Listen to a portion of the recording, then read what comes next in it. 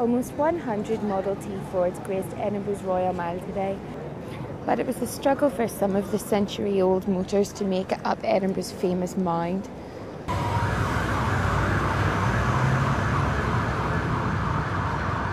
This is a 1910 Model T Ford. Um, I bought it about five years ago. Um, um, I fully took it apart and restored it. I bought it as a wreck, and um, this is a finished job now.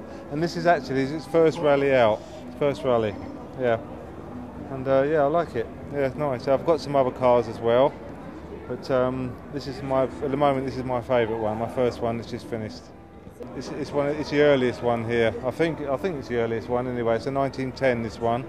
The, the first Model T came out in 1909, and uh, this is a you know 1910, and they went all the way around till 1927. So there's lots of other nice cars here, and um, you know, and the last one came out in 27, and they, they vary through the years.